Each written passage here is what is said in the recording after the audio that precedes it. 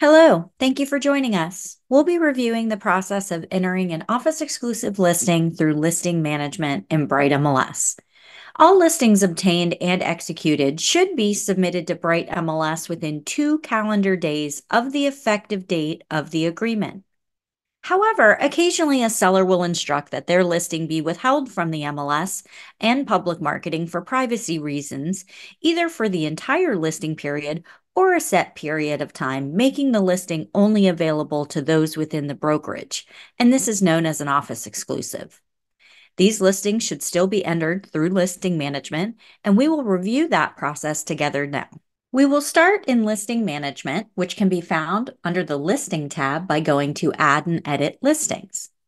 We'll start the process of entering a new listing by clicking on the orange tab in the right corner that says new listing. We're going to walk through the same way we would as entering any type of listing, starting with picking our property type. We'll simply click Next. We will add in our address of the property and search. This will help us locate not only the tax record, but also any previous listings.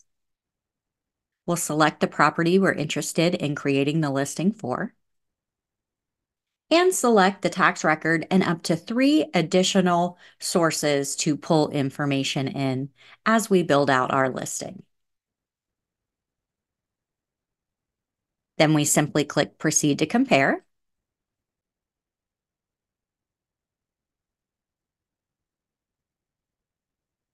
And it brings us to our comparison screen where we'll be able to select information from our tax record or any previous listing sources to help us populate our new listing. Now, even in the case of an office exclusive, it's still valuable to take time and fill in any information here to really build out your listing, especially in the instance that you may decide to take your office exclusive listing and convert it to a standard listing. Once you've selected all that necessary information to populate your listing, you'll be ready to move to Add Values to Listing in the bottom right.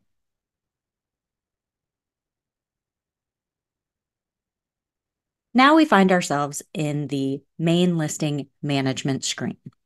From here, we're going to start since you can see over here on the left-hand side, we have several fields that are required in order for us to publish this listing.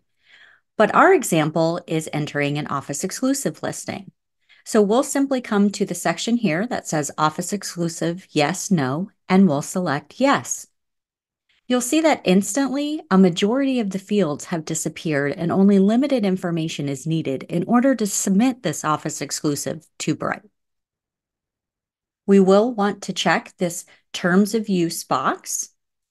And by clicking here, you are representing that the seller has directed the listing broker in writing not to use Bright MLS to disseminate the property's information to other agents or brokers outside of the listing brokerage, and that the property also will not be publicly marketed.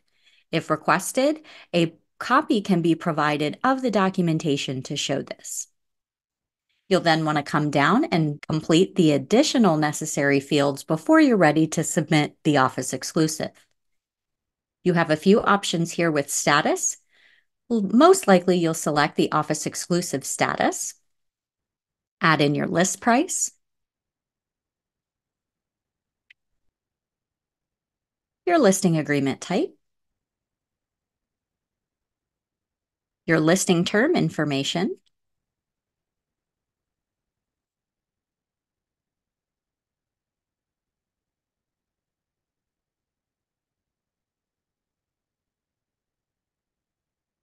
ownership interest. Now that all necessary fields have been completed, we are ready to publish our office exclusive listing. We'll simply come to the top right here and click the publish icon. This will then provide us some additional details reminding us that this is an office exclusive and all the terms and details that apply to office exclusive listings. Once you've reviewed, you can simply click submit and now you can see that it's confirmed that we have successfully submitted our Office exclusive listing. Now, at any point, we're able to easily come back into that listing and make necessary changes. You can simply click Edit to reopen the listing, just as you would any other standard listing. And from here, we can make any changes. For instance, if the situation applies that the seller has now elected to put the listing on the MLS as a standard listing, you simply change the office exclusive yes, no to no and you will see instantly that you have several additional fields that you'll need to complete in order to make this a listing that can go on the MLS.